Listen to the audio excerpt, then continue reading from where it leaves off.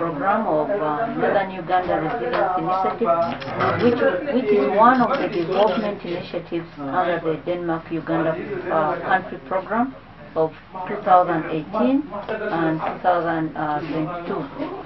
We got uh, financial support uh, from Danida of uh, 3.5 uh, billion Ugandan shillings, of which we signed last year in May, and we started the implementation of the project. We are working with 195 farmer groups and promoting four strategic crops, uh, cassava, uh, beans, uh, and then maize.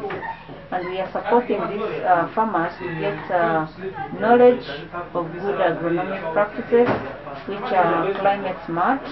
Uh, knowing that now over the time we've had our climate uh, changing over a period of time now, there are periods when farmers expect rain, but instead it is a dry spell.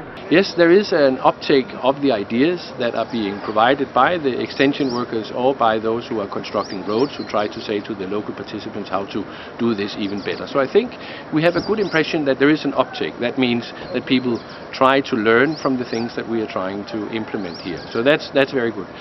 There's no doubt, of course, there is a way to go. It doesn't happen overnight, and uh, there are things that have to be repeated again and again. Some of the activities have been going on for some years, and we can see changes.